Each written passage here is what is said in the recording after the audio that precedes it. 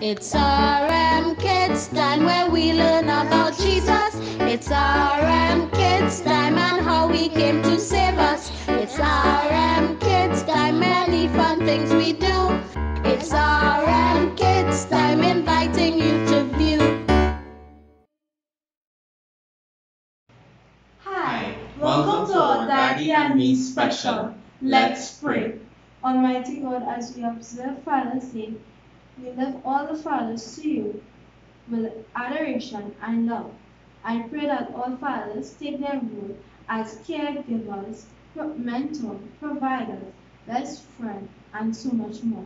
I pray health, strength, and blessing. In Jesus' name I pray. Amen. Amen. Hi everyone, I'm Auntie Carisha, Kieran Kenny. and we want to wish all the fathers of Revival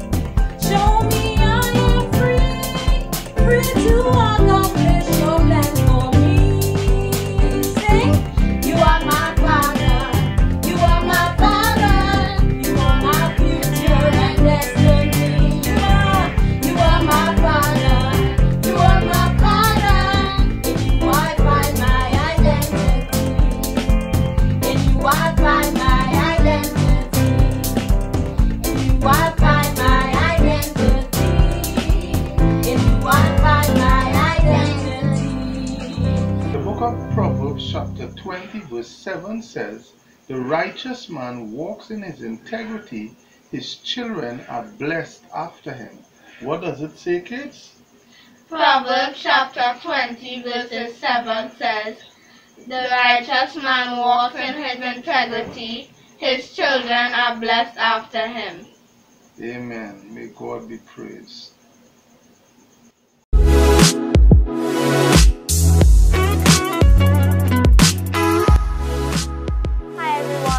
Welcome back to RM Kids Time. It's Isabella Mendoza here. And if you didn't know, tomorrow is Father's Day. So I brought my father, Stephen Mendoza, here to be interviewed by me. So I'm going to let him introduce himself to you. Hi, boys and girls. I am Pastor Stephen Mendoza. According to Isabel, I'm her daddy. And I am just waiting to hear what my daughter is going to ask me today. I guess had to do something with Father's Day. Yes, it is. So the first question is What is the role of a father? Oh, the role of a father. Nice question. You know, the father uh, has several roles, uh, we will call several hats. But you know what I think the main thing, Isabella? Uh, a father must be able to provide for his children. The scriptures say, if I cannot provide for my home, I am worse than an infidel. I am worse than a person who is even incapable. I'm worse than an unbeliever. So every Christian father must be able to provide for his home, like, you know, for your food, your clothing, Yeah. your shelter, your education, your transport, all different kind of things. But I must be able to provide for you. Okay. What about protecting? Yes, I love the protecting thing. I am not permitted to have a gun, Yes. and I don't know karate either. Well, yeah. So protection doesn't necessarily mean I have to do self-defense. I must, however, know who I'm exposing you to. I must uh, make sure that you are not exposed to danger as much as is possible. So people who that I would consider to be suspect, I would tell you keep away from these people. You know, or I myself would make sure that you are just not in their presence. Okay. Isabella, though, I need to protect you from yourself. What do you mean? Well, sometimes as a child, you may want something, you may want to do something, you may want to go somewhere that I consider to be dangerous, but you don't consider to be dangerous. So I have to sometimes deny you things. But in the long run, as you get older, you would reflect and say, Dad, I want to thank you for, for being firm, you know, because I didn't realize the danger. So I also had to protect you from yourself. So, is there anything else? Oh, well, training up a child, a parent has to train up a child the way they should go according to the scripture. And if I train you in this way, the scripture assures me that you would not depart from it.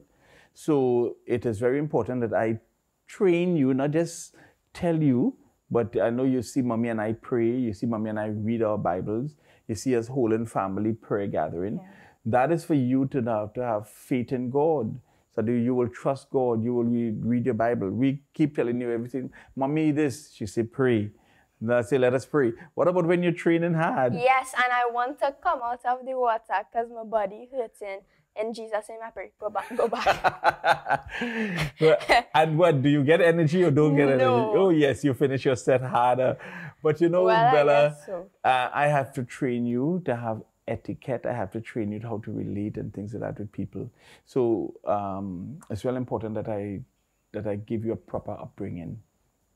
yes. So, what about education? Education is a really important thing. I believe, personally believe, that education can improve your financial status in life, take you out of poverty. You know, um, so for, for me, my goal in the home is that none of my children should have less than a bachelor's degree. A bachelor's degree is really the first graduate degree that you will get um, in university. Okay. Um, however, that being said, that is what you will call official or structured education. There's a other type of education. like what? Well, in just teaching you how to appreciate culture, teach you how to the different type of foods there are, how to make you be exposed to your own ethnicity. You are a mixed ethnicity. I took you to India, so you would appreciate going through an airport. All that is education. How to use different currencies, um, how to relate to people of different standing in life, you know, how to relate to the poor. Because I take you when we go and share food for the vagrants and we share food for the less fortunate. I take you. So all of that is education. And sometimes even sometimes a neighbor may not be getting on good. I'll say, Isabella, I have to teach you how to deal with these people also. You understand? So Yeah. all that is education is well rounded. And let me just say before we close up in this education, there are some things that I might also disagree with that they may want to teach you in school.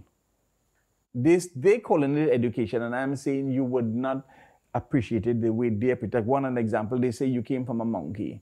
That we men, Well, yeah. human beings. And I, I, you- honestly don't believe that because I know we came from God. right. Because you taught me that. and that's what education is also. What we would reject and refuse and what we would accept. Yes. So last thing, Daddy, what about goals? Right. Well, there'll be two type of goals. There'll be one that I would try to set for you as a child because as a child I will have to teach you how to look fine to the future. Right? Because children just want to look for today alone. Right? So I have to teach you uh, like I was talking about your bachelor's degree. Uh, but I will have to teach you about house and land and how to achieve that, what you want to become in life. Now, for you to become that, I will have to break down those things into smaller goals, like, okay, you're into SEA level, try and become, do your best at SEA. And then when you go five years, try and do your best at CSEC, try and do your best at CAPE. Try, you understand? Yeah. Different goals to get your milestones and achieve those goals. And for you to also know that you yourself can want to set big goals. And you know what? It is for me to tell you, Isabella, you can. Isabella, you can. You know, I believe that you could make it to Olympics. It is uh, you to believe that. Yeah. You know, and and so that is what fathers do. Fathers inspire their children. They don't break them and tell them you will never be. No, fathers inspire children and allow them to dream big. Right. So yes, that is the end of the interview. Now I just have a small tribute. Um, I wrote this tribute specifically for my father, and I hope you enjoy it. Okay. Okay. I just want to thank you, Daddy, for all the love that you have given me and for all the fun we have together, including last night when we played pillow fight and you knocked me out. Well, you lost. yeah. Thank you for always believing that I can do things that seem to be obstacles, like the hard main set in swim training that has me dying. But I always come out grateful to have a coach like you. Thank you for being a spiritual and wonderful father. God is truly the number one creator. Oh my God, darling, come on, give me a kiss. Mm, thank you. That was so. That was that was excellent, Isabella. That Thank was you. wonderful. So now I just have a present for you from the CE Christian Education The- Um, the department. Department, Yes. yes, in Revival Mission Church. We hope you have a wonderful Father's Day. And to all the fathers, I hope you guys have a wonderful Father's Day. And I hope all your children appreciate you today, but not only today, every day of your life. So, bye. And to all the fathers, happy Father's Day. Big you up, guys. God bless. Yeah. Bye bye.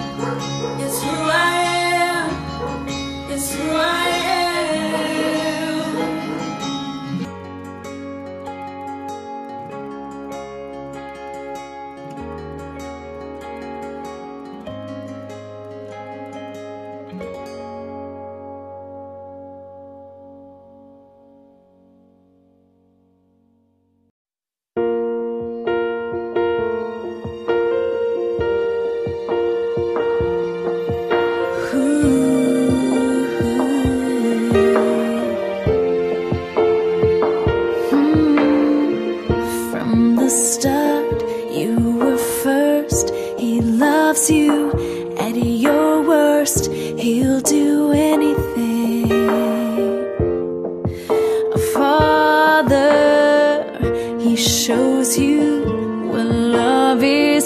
Saw your dreams before you